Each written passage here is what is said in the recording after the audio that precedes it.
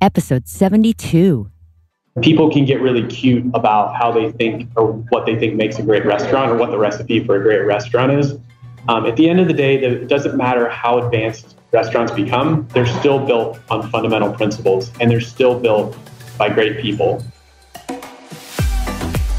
Hey, everybody, this is the Just Forking Around podcast, where every week we raise our glass and toast to the beautifully insane, sexy world of food adventures.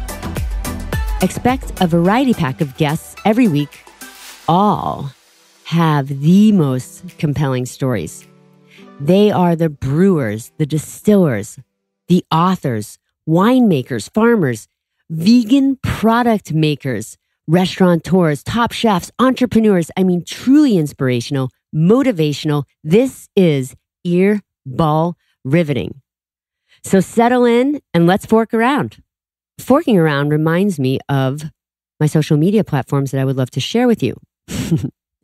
at Forking Podcast. That is Instagram. So at Forking Podcast, website justforkingaround.net, and Facebook is my personal page, Debi.Saltzberg. And if you're on the iTunes enjoying the podcast, I would love if you enjoyed the show to subscribe, rate, and review. Much love. And now let's really get into this next episode. Welcome, everybody, to another episode. And this one is awesome Piada Italian Street Food Restaurant Concept. is a fast casual restaurant, has 42 locations in seven states, and they serve piadas, pastas, and salads. Uh, I love this restaurant concept. Um, Matt Eisenacher, he is the chief concept officer and he oversees the branding, the marketing, IT, business development. And he's phenomenal. I mean, this guy is, we have such a great conversation. I'm super excited for you guys to dig in on this one. Uh, he joined, just let's qualify Matt Eisenacher for a minute. So he joined Piada back in 2013. And at that time, they only had 16 units, uh, 16 outlets, restaurants. And since then, he has helped grow the brand to 42 units yeah, 42 restaurants across seven states. And what I love about Piada, I mean, if you don't know what a Piada is, basically it's inspired by the Italian food carts from the town of Rimini in Italy. So the a Piada, well, you know what? I'm going to have you, you have to listen to the episode to learn what a Piada is if you don't know already.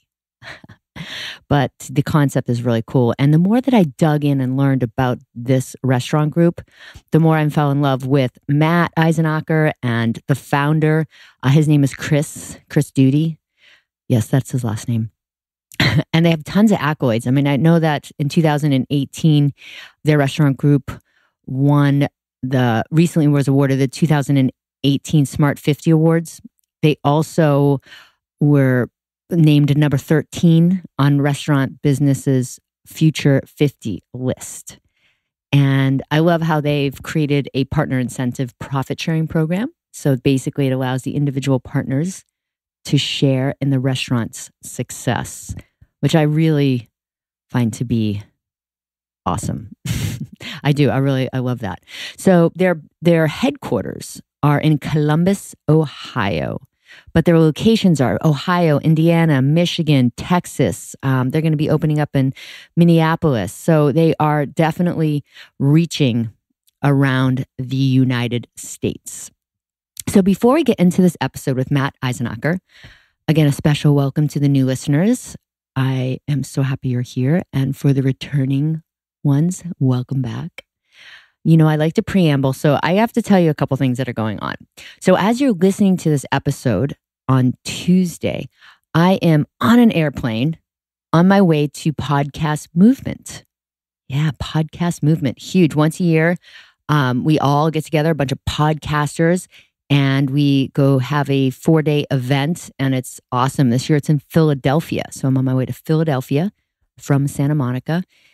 And um, yeah, we kind of all get together. We do a lot of uh, seminars. We do a lot of schmoozing with each other because uh, you know how podcasts are audio. So we have all these uh, people that we are in contact with through Facebook groups and other groups. And now we get to all come together and party and hang out and share stories. So I'm psyched about that. So stay tuned to see what comes out of Podcast Movement 2018.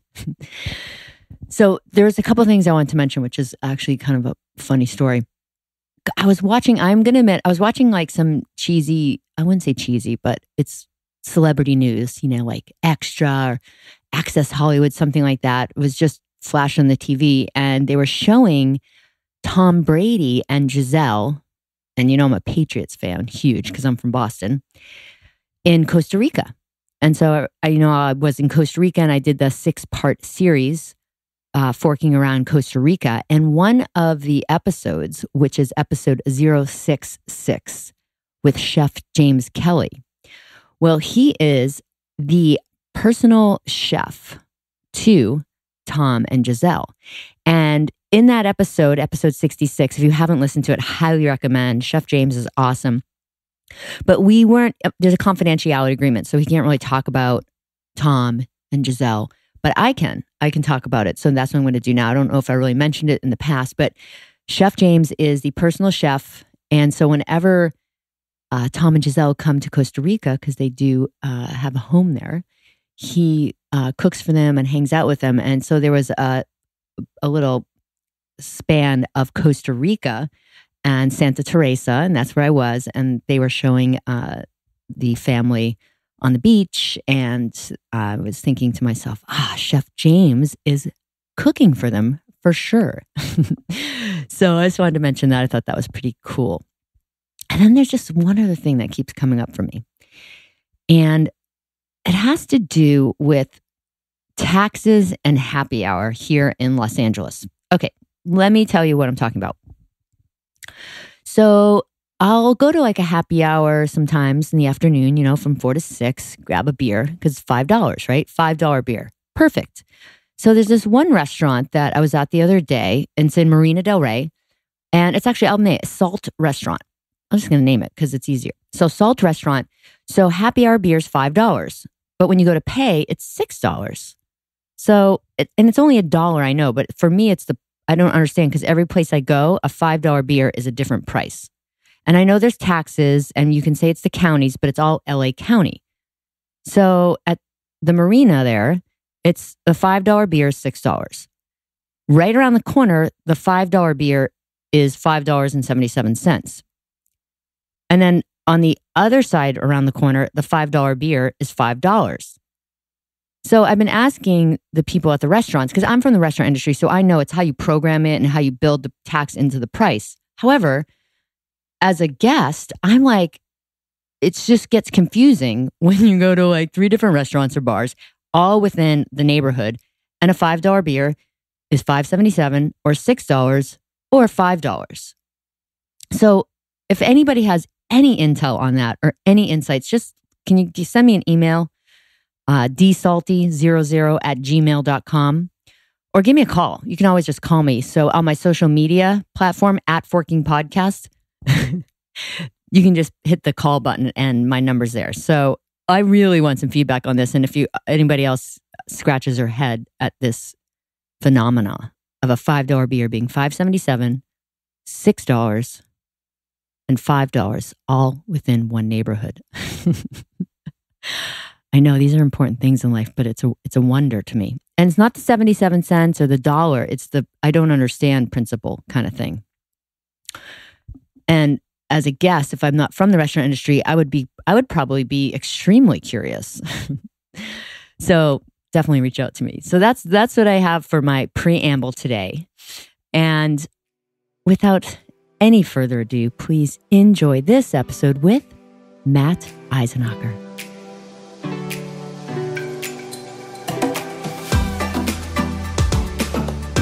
All right, so Matt, welcome, yes. welcome, welcome. I'm so excited. Let's see the the official title is Chief Concept Officer at. And head dishwasher, head dishwasher some days too. Someday, oh, I'm sure, right? And and you're coming to us live from the uh, Piada in a kitchen, I believe. Are you are you sitting eating a delicious pasta?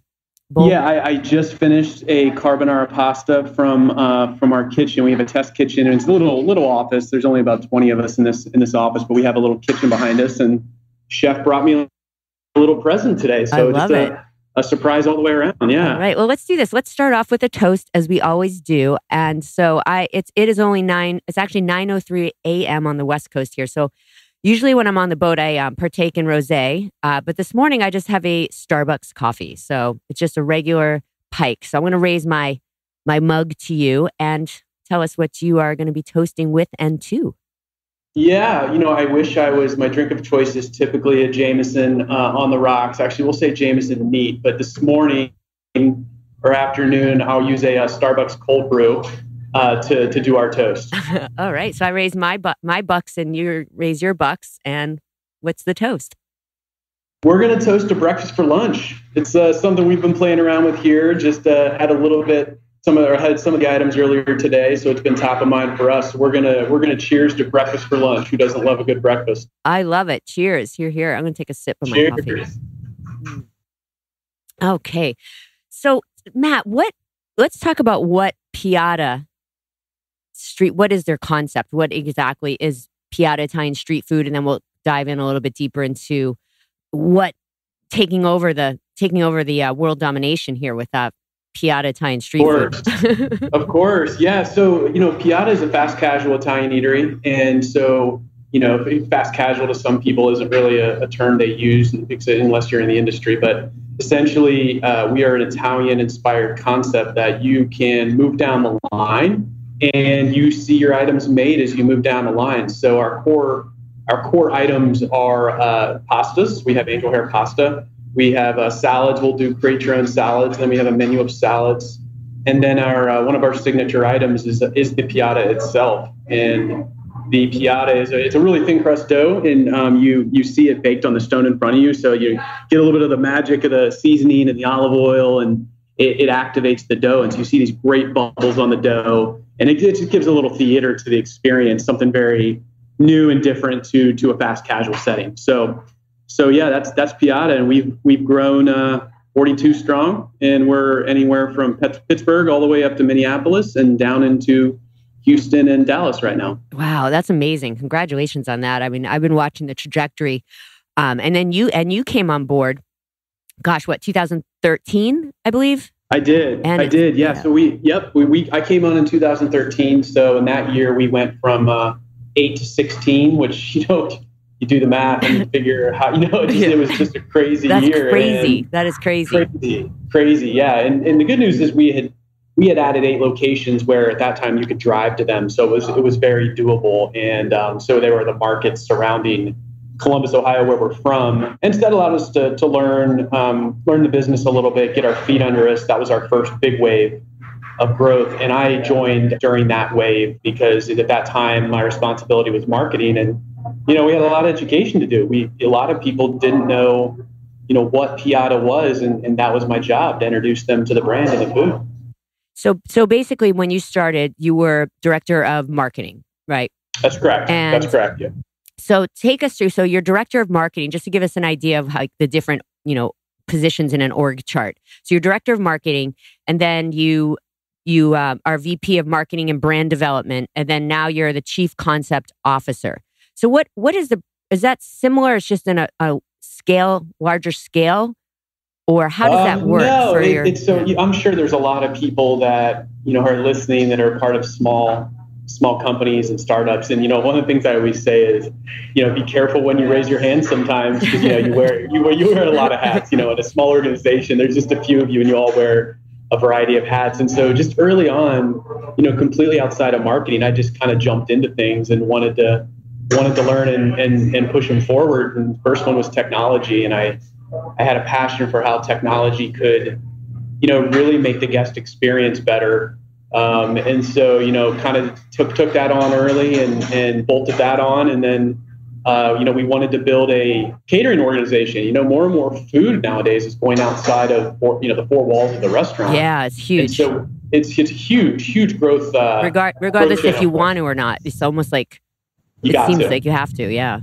Yeah, you got to. I mean, when we opened up our first restaurant, 60% of our dine-ins or 60% of our sales were dine-in, right? So people sat in our dining rooms. A lot of our locations now, you know, we have a lot of locations that could be as low as 30, 40%. Wow. And that's driven by, you know, people were taking food off site. They're they're demanding to consume food in different ways. And so so yeah, you it's just it's not a want to, it's you know, you have to. And uh, so we built a nationwide uh, catering network, and um, so I jumped into that. And then recently, you know, uh, operations uh, came into that as well because, you know, my role is really about, you know, championing the guest experience from A to Z, and all of those things touch the guest experience. That's really important that you have a really well thought out, consistent guest journey. I have a question about this this concept of, you know, j- the journey of the guest experience, and then kind of pinging that back over to takeout and delivery. When you're saying you're building a catering network, is that outsourcing delivery service or, or are you creating your own type of delivery service so you're more hands on with the experience from ordering to finality? Yeah, you got it. I mean, for us, we're very hands-on culture. We we don't we don't feel good about, especially for a catering experience, allowing anyone to touch that because people aren't buying food; they're buying an experience, and they're they're buying they're buying the person, and so we we have a, a system of local uh, managers, local coordinators, and delivery drivers, but they're they're they're employed by us, and it was a I mean it was a big undertaking. You know, we're only that's huge because I'm in LA, you know, and there's so many. There's uh, all these delivery services. Like I'll give. I'm, I don't want to say maybe the names of them, but I'm tell you my experience was so bad that I knew it wasn't reflective of the restaurant you know, just because I know that. However, my mental, you know, my my idea is like, okay, that sucked, you know. and so so that's huge. Like, so I have chills when you said that. That's like a really big, huge undertaking.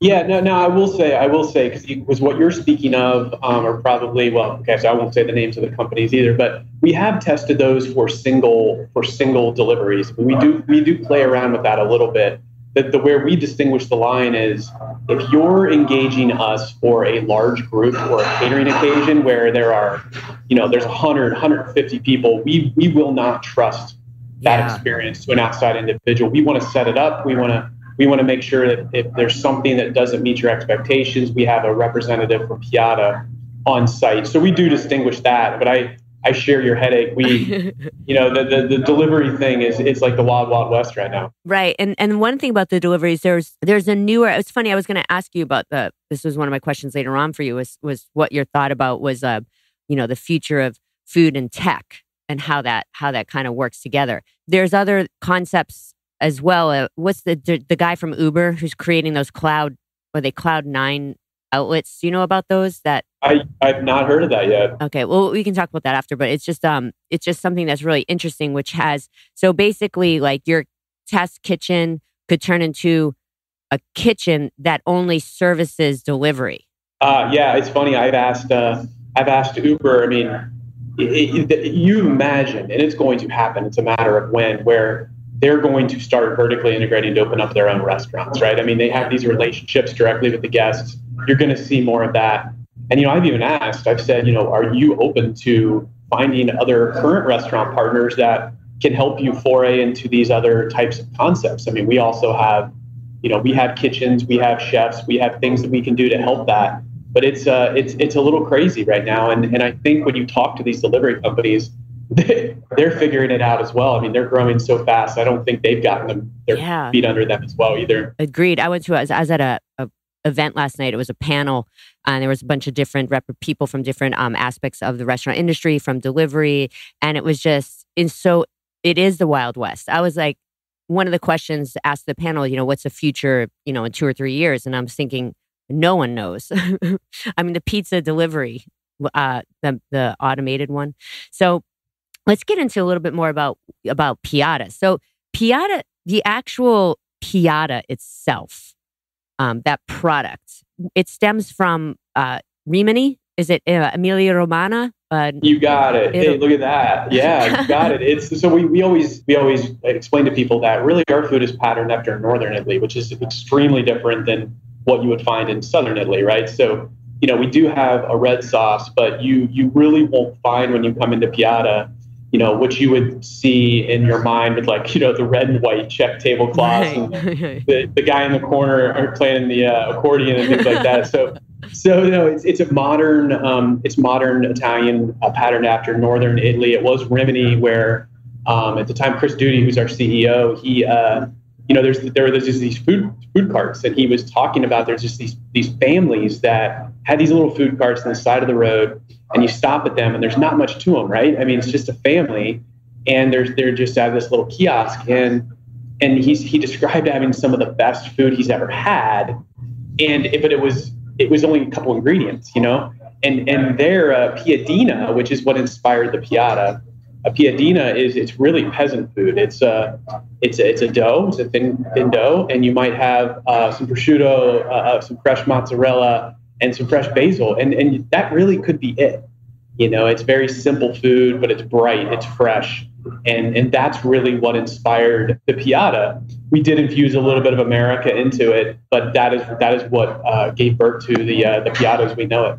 That's so amazing. So when we walk, I you know I was looking at some of the pictures of the the physical layout and the beauty. The restaurants are are gorgeous, like the streamline and the architecture and the the windows and the some have brick. The lighting doesn't look as fast casually as other restaurants may appear in one's mind. Does that make sense? Yeah, well, you know, that makes me. If you could see my face, you I have a big smile on my face because that's that's the idea, right? And that that that idea that you just articulated is what kind of drives us across all the elements of our brand. We don't, you know, I'll I'll describe to you and to people that know what fast casual is is is you know we're a fast casual establishment, but we don't we don't operate that way. We don't try to follow the rules of what you would expect. Our our our vision, what drives us, is to kind of demolish the expectation of what you would expect to get in a casual setting that's fast. And so the design is one of those. You know, it does not feel like a fast casual establishment.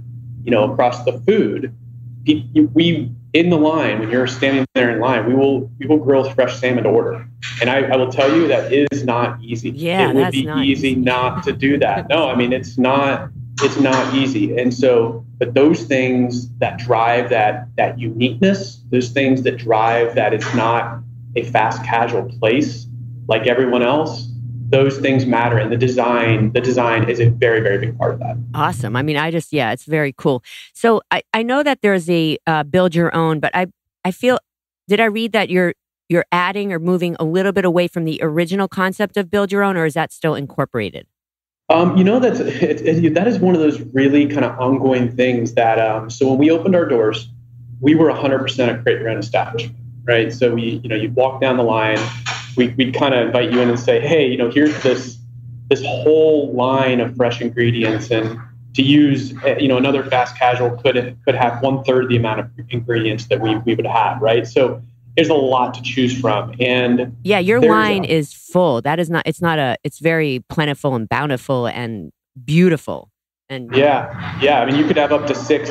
We have three hot sauces. You could have three cold sauces. You might have anywhere from you know, six, eight, ten dressings at any one time, and then, you know, just a whole myriad of different fresh toppings and veggies and cheeses. And so, what you found is that Italian food's a little more complex. The flavors are more complex. It's not, it's not like Mexican or Asian that can, you know, really a lot of those flavors. They're bold. They can go together very easily. There are things on our line that don't go well together, right? Right. And so, what we found is that you know people people would come in and here they are like, oh yeah, give me give me those three hot sauces and I'll throw all four cheeses on it and put you know cold cucumbers on my pasta. And they're like this isn't good. Like, right. we know, yeah right it, that, that does not look good. So over the years we have definitely we have incorporated a on menu items. And when you walk into our restaurant you will see 12 menu items in front of you that we, we want you to start with. Um, frankly if you're a new guest that's where we want you to start and so in our new restaurants now, the cool thing is uh, you you see sales anywhere from 80 to 90 percent are in menu items, and then once people get comfortable, they then you see that create your own uh, start to build, which is fine. I mean, if, once you get the hang of it, you find your thing. Absolutely cool with that. But the menu items are important uh, because you know we want we want our chefs to guide you into the best items, and and we know that that sometimes takes a chef to help you do that. Right. Uh, and so that's yeah, it's a much bigger part of our menu now. You mentioned a little bit about culture, and what is what's your definition of culture, and how does that translate across the board for you? Is it with the staff? Is it with the is it with the vibe? Like, what is culture? You know, I'm sure you know there's so many different different ways to describe it, but it's you know for, for a small company, it's it's what happens when you're not there, right? So when you when you start off and you're a small company, the the inclination is to kind of drive your company from a central point, uh, I think, and you know as you grow, you end up you know you end up stepping away from parts of your business and it starts to grow away from the center. So we, you know, we're very big on decentralizing and having our markets and our teams kind of drive everything locally. And as part of that, when when you're not there, what happens? How, how do people speak to each other? How do people treat each other? What do they hold themselves to? Where do they focus? I mean, all of those things and all of those questions and all of the details that go into one shift at a restaurant you know, when things go wrong, and they always do, what does the team fall back to? And what are their tendencies? And, you know, for instance, I'll use the example of the food. You know, it, it said we, we always preach it's either right or it's wrong. And you have to you have to practice that when you visit the restaurants and you taste the food and you model that behavior. Because when you're not there, right, if you're multi-unit or no one from the home office is coming into your restaurant for a day or a week, is your team are they focused enough? Do they value that enough? Do they live that each day so that they know when they walk in they're going to taste everything on the line before the guest does? And so it's those things those practices those beliefs and how embedded they are in the person that's furthest away from you know furthest away or the, the, the restaurant that might be furthest away. I mean that's how i'd say you measure and understand how culture permeates and drives drives a practice. That was an excellent. I mean, that was really that was probably the most well well um, described, and that was really good. All right, uh, yeah, okay, so I, like I was like, wow, that's brilliant. I really think about that. And so, what does your job entail? I mean, do you obviously you're in a test kitchen right now, as you noted earlier. Uh, but what do you? What's your? What's a day in a life of like Matt? I mean, that's probably a really crazy question. But what does your position hold? The chief concept officer. You know, I um, and and this is this has been a hard thing, but um, I I intentionally try not to structure my day too much myself. And what I mean by that is, I think if you're gonna if you're going to build a culture and you're going to build a culture of decentralization, you know, for someone like me, you have to be willing to kind of yield your time a little bit to those around you. And you know, I, I, whether it's whether it's you know making a decision or jumping into a fire to help where someone needs it, or there are just times where, especially as you're growing, there's there's growing pains, there's things you're learning. You know, someone like me, it, my my day is so fluid that um, I intentionally try not to book um, time myself. And you know, obviously, there's there's some things you have to get done, but you just have to be able to yield yourself to the teams around you, and you have to kind of understand where you're needed and kind of go with the flow. So it's probably not the answer you. No, that makes sense. No, that totally makes sense. So what, like right this moment, where because you're not in Columbus, correct? You personally? Uh, no, I am. I actually am in Columbus. Are you, is this? Are you at the um, original test office there where Chris was um, doing? Yep. Yeah, so that's the original. I, I was. He was saying something about before you all launched. You had a bunch of like 750, you know, tastes people coming through for nine to 10 months before you launched the first, and I think it was in September of 2010.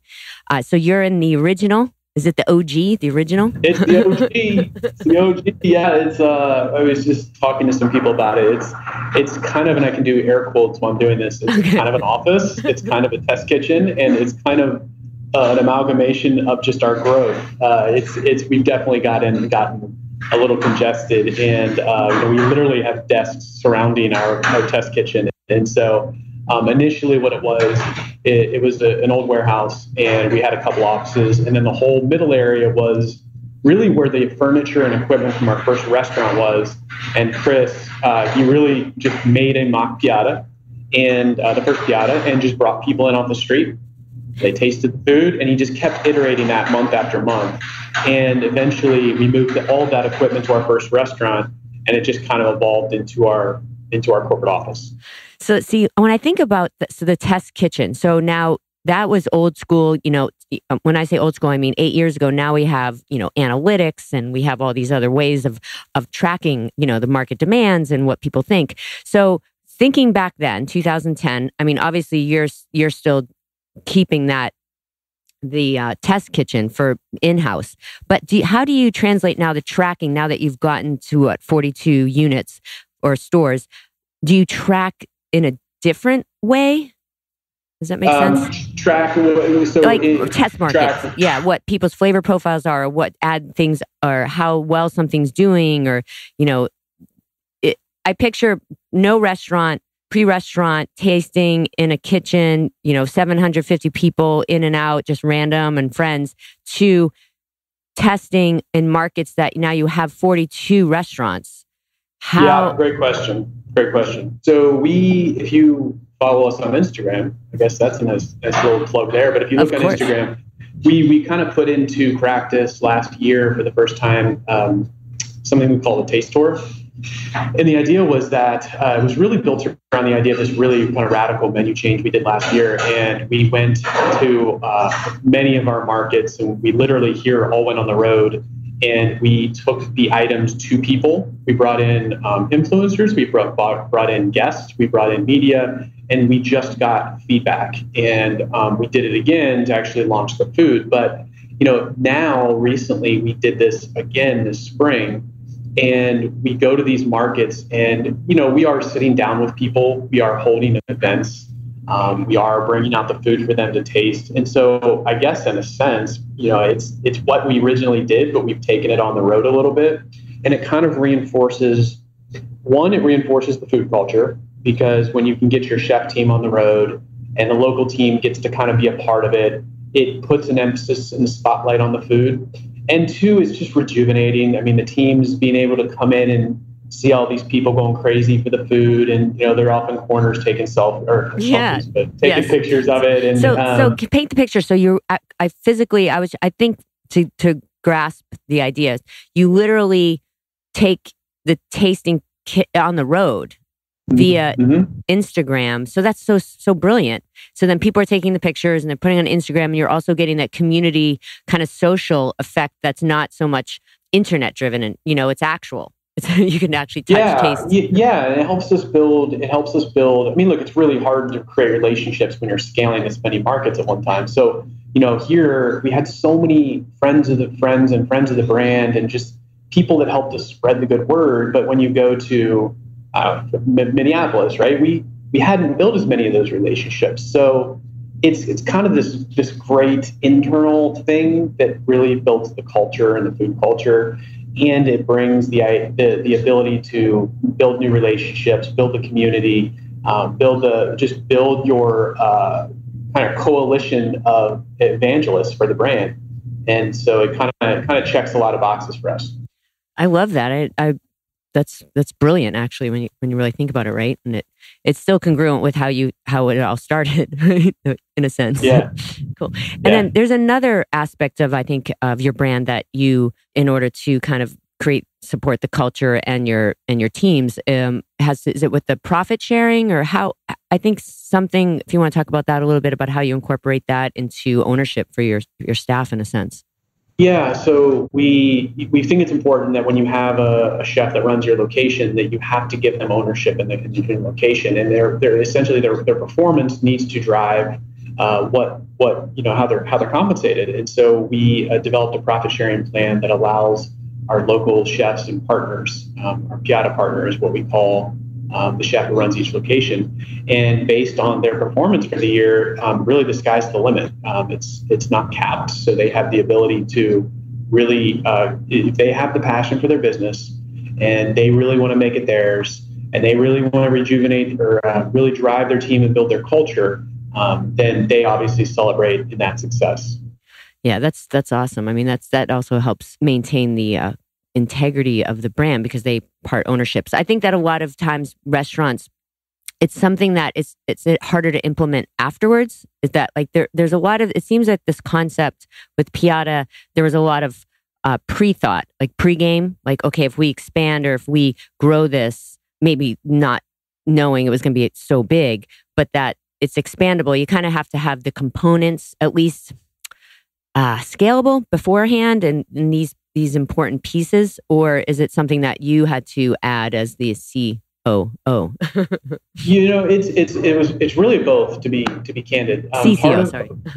yeah. So Chris, the, the great thing about Chris is he he did that. I don't know how much you know about Chris, but he did this with Rio Bravo Restaurant Group, and he you know was part of growing that brand. Just he and his brother um, initially, and and grew it into a nationwide brand. And so you know there is a lot about the scale that you know is is known by our management team, and you do have the ability to kind of pre-contemplate you know how things should be and what you need to have in place you know, the, it'd be silly if I said that we had we had it all figured out. And some of it you do learn along the way. And so, you know, the profit sharing plan was something that we did put in uh, a couple years into it. Um, you know, the other thing we did, which is kind of the reverse of local, but but is important for the culture, is we also put into place. Uh, I want to say two years ago now, uh, what we call Piada University, and you know, now our plan is to do this three times a year, where we fly every partner in. So we have 42 partners. We not only fly them in three times a year, but now we've expanded it to uh, high potential young leaders, and and I don't mean young as in know age young, but just people that might be newer to your company that show a lot of potential. And so we we spend the money to bring them in three times a year, and we just finished last week, and the enthusiasm, the vibe, the connection you get, and you know, you your partner in Minneapolis meets their counterpart in Pittsburgh, Pennsylvania, and that cross pollination and the energy and kind of comes from that is is immeasurable. And and so those things are things that you know some of it you do learn over time. Yeah. And and uh, but they're they're incredibly valuable, even even though they're tar- hard to pull off, especially when you have a footprint this large. Right, three three times important. a year. But three times a year, I could see how that would be totally that uh, uh, that seems grand, but it also is important because once a year is not enough, right? I mean, in a sense, you kind of forget. Yeah, but three times that makes sense. But we started at one time a year, and, and you just you kind of just felt the magic kind of fall off a little bit. If you want to keep that alive, you want to you want to keep them kind of connected to one another. Yeah, I love that. So before I, I have a couple other questions, but Matt, what's your? Let's talk a little bit about you. I mean, where, where are you from? Let's talk about where you're from and what you're a little bit about your trajectory. Just a yeah, a little funny. I'm not. I have no background. I, am very open to people uh, about this, but I had no background in restaurants before I came here. And uh, the funny, but the really genuine story about it is, um, I there was one that opened by my house, a Piada opened by my house, and uh, the line was wrapped around the building, literally. And my wife kept saying, "We got to go in this place," and I said well, this fast casual thing's gotten out of control. They're putting spaghetti spaghetti in a burrito. I am not taking part in that, right? So I wouldn't go. I wouldn't go to the restaurant. So I guess I should take a page out of that from a marketing perspective. But um, but anyway, so so seven, eight, I don't know, a ton of people uh, were like, you have to go to this place. So my wife drugged me in, and you know, at the time, my background was in is in marketing, and I just I immediately, she'll tell you to this day, like I was just so enamored where the lights and the and the chef coats and the way the food was presented and the music and the wood and the decor, I just got it instantly. I just completely got it. And I at that time didn't didn't know anyone, didn't really know much about Piada. So I, I found this random guy on LinkedIn who happens to be our CFO.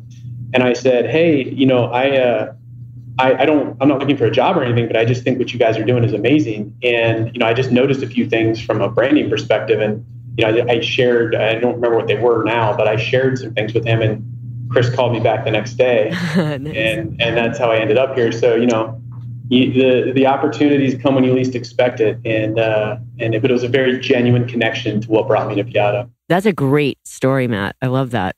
Was that picture of the scooter always there? Is that in that restaurant? There's a big mural I love that Yeah. picture. Yeah, yeah. The, the, there's a black. it- It's funny. I assume you're talking about the black and white picture, right? Yes, yes. So if I were to just show you that original picture, it's actually not black and white. If you zoom out, because we cropped it, it, it, it, it, wish people more people knew this, but it's actually a, a, a man and a woman on a, on a scooter on a cobblestone street, and there's a baby in between them. Oh, And yeah. when you see it, it's like the exact idea for why the scooter is is our brain mark. It's fun, it's fast, it's approachable. And here are these people driving down the street. They just have a baby in between them. It's just they're just on the go, man. They have no no concerns, no helmets, no. I mean, just, they're just doing it. I love it. that's cool. Yeah, that was a very uh, that's a very cool mural. So yeah, that's that that caught my attention. So I know that, that we we started uh, uh, mentioning about a when we did the toast uh, breakfast for lunch, and I know that this is something that you're testing or about to launch. So let's talk about breakfast for lunch.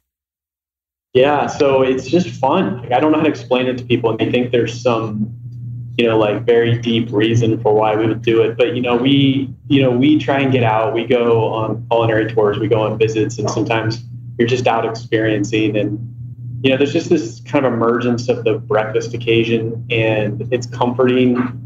You know, everyone who doesn't love eggs, and it's just a, it's just a fun, lighthearted occasion, and you know, from a brand experience, it's definitely something we're trying to infuse. I mean, you see our decor, for instance. I mean, it's, it's, it's somewhat serious. I mean, it's very clean, clean lines. And so, you know, there is a concerted effort uh, for, for us to bring a little bit more fun, a little bit more energy into it. And there's just something about the breakfast occasion that just does that. You know, we've got a, a, fun little uh, line that introduces it to people, and we're trying to have fun with it. And that's kind of the whole idea behind it. Um, it- it's just a different type of occasion, and uh, so we'll see. You know, we're we're testing it at two of our um, two of our locations in Columbus, Ohio. We had the first weekend. Uh, the items were about twenty percent of sales, uh, which is a good. Oh, that's good. Yeah, that's yeah, good. it's really it's really good. So we had good good reception to it, and uh, we're having the second. Right now, we're just doing it on the weekends until we kind of see what guests tell us, and uh, and we're just kind of rolling with it. Nice. I love it. So I feel like we've we've hit a lot of key points. Did I did I miss anything that you really feel though we we need to uh to touch on? You know, I, I one of the things I um I, I was looking a little bit at you know some of your other interviews, and you talk a lot about menu and food, and you know the interesting thing for us, and, and I share this only because I'm sure there's people out there that are learning um, from companies that are growing, and you know one of the things that's been the most fluid for us is our menu, and you know for us when you walk into an establishment where all of the food is being made in front of you, um, one of the challenges we've had is the sheer breadth of our menu, the, the number of sauces, the number of ingredients. Um, we've really tested and refined and and learned uh, over uh, these few years on how you introduce your menu to people. You know, when, in the fast casual world, when you walk in, you're usually used to pointing and and, and really not using a menu. In the in Piada, uh, we you really kind of need the menu. There's a lot of things you may not understand. You may not know what pancetta is. You know, we don't call it red sauce. It's a pomodoro. Um, there are there are some words that are new to people, and we think that's important for differentiation. So the menu has been something that has probably been the uh, the thing that has been most fluid in our growth, and where our focus is right now. Where a large part of my focus is is leveraging technology to make that a much more uh, user uh, or guest centric experience. And if you go to, for instance, our website, you can kind of see the origins of that, where everything, every ingredient is is is visual. So you understand what you're getting, and you can kind of understand all the choices that are available to you. And so, really, where I'm focusing right now is trying to leverage that that online experience to bring that into the restaurant to make the fast casual uh, process, the ordering process, much smoother and much more efficient for the guest. So would that be like looking up at a menu or is it handhelds or when you say We've tried both. Yeah, we've tried both. So initially, when we we create your own, there's you know five menu boards, and it's like, hey, here's your proteins, here's your sauces and toppings. Good luck. Right, right, Uh, yeah, right. then, th- then you know you take that. So you can still create your own. Yeah. We're welcome you to do that. But then we have 12 menu items, and we have seven grill items or proteins you can put on that. Then we have side items. So you can imagine when you see that breadth, the, the thing that really has given us the biggest pause is that you, you almost can't fit that on a menu board, right? right. You just there's just too much. And so we have gone to a point where our menu boards are more of just a large feature, right? There's one featured item, and then there's a menu card. And we've over the years really tested with our guests, and now we kind of have a hybrid of both, where we have uh, our best featured items up on the board, um, and then we reference you to a menu card uh, for all of the information, calories, um, everything. And so, you know, but it's that's just not optimal. You want people to have one place to look, and so right. technology is is you know behind people. Technology is one of our one of our highest priorities. Because I picture the to expedite the the fast part of the casual, the to, is um, the fluidity of of ordering in a sense. Mm-hmm. Yeah, because there's a lot to communicate, right? I mean, you're standing at the stone you you you have you know, I don't know how many ingredients we have, maybe 25. It's a lot to communicate to that person. And in my perfect world, if I could design what I think would be the best way to do that, wouldn't it be cool? Everyone's got a kiosk in their pocket, right? You you you talk about kiosks in the restaurant, but everyone's got one in their pocket. So if you could, on, when you're standing in line, when you're in the queue for a piada, if you could configure your order on your phone and it just generates a oh, little yeah. QR code, so when you go up to the stone, you kind of, hey, hey, how are you? Um, what can I get for you? You scan your barcode, it shows up behind the line, and they just start making it. And you don't need to kind of go through this whole dissertation for what you want your bowl. Wow. That's that would that be doesn't brilliant. exist, by the way. This is kind of my head no, right but that, now. So but that's just what you do in your free time when you think about things. no, but that makes sense, right? So that when you get to the and you're so you're still um, incorporating, you know, ordering via human to human. However, you've you've kind of uh, kind of uh, streamlined the hawing and humming maybe at the at the menu that's board. The, yeah. That's the idea. Gosh, I could talk to you all day. You're you're you're awesome. I I, I appreciate your time, oh, and I know it's been almost an hour. It's awesome. So I you know I don't know if um do you have any recipes off the top of your head that you want to share with us? A recipe, something that could be something simple or food or beverage. Maybe I know you drink Jameson neat, so that doesn't really count. oh man, I, I I have to I have to think about that. I mean, I, I would always say I'm going to go figurative on you. I'm I'm going to take okay, you out it. of the literal world. Do I'm going to say, you know, in a place in, in a high growth environment, if you want to build a, an organization that is going to stand the test of time, that your recipe, uh, first, second, third ingredient is people, people, people. And so I know that's going to be a boring answer, but you I think so. So often now in the age of technology, um, people can get really cute about how they think or what they think makes a great restaurant or what the recipe for a great restaurant is. Um, at the end of the day, it doesn't matter how advanced restaurants become; they're still built on fundamental principles, and they're still built by great people. And so, you know, it's a simple lesson that if you're if you're starting a company and you, and you have aspirations of growing it, um, don't lose sight of that recipe because those things don't change over time. Uh, well said, Matt. See, you're awesome. I love that. Thank you. Thank you. Thank you. Well, I'm excited to explore some piadas when I'm out in that area. I have a feeling. Give me a call when you're in one of our markets. I definitely will. I'm gonna. I probably will be in the Pittsburgh area, but you never know. It could be in, Columbus, but I have a feeling it will be Pittsburgh. But you never know. Yeah, Columbus is a great food town. There's just so much going on here, so yeah. many brands here. So there really are. It's like the test, not the test, but there's a lot happening there. It's, it's it seems explosive um, with really cool things. So it is. Awesome. It very, it very much is. Yeah. Okay, Matt. Thank you so much. You're awesome. Of course. Super nice talking with you. I appreciate it. Hey, everybody. I hope you enjoyed listening to that episode. And again, please rate and review if you did like this podcast episode or any of the other ones. Please go to iTunes, download, rate, review. I appreciate that very much. Just Forking Around Podcast. And again, I am Debi Saltzberg. My handle on Instagram is at Forking Podcast. My website is justforkingaround.net. And I am so excited to have you on board here with me on the Just Forking Around podcast. And I look forward to seeing you on the next show.